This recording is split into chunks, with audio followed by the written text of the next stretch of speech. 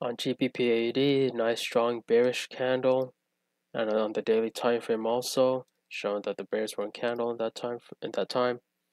So I'm waiting for buyers to kick potentially kick the price back up to a resistance or supply zone and look for a sell.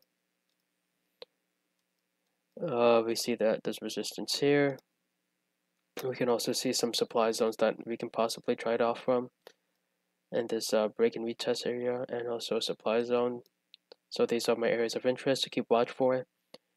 But uh, we are we wait for a confirmation signal before going in. So it kind of blasted through the zone right here. And now it's retesting the this resistance and 200 EMA.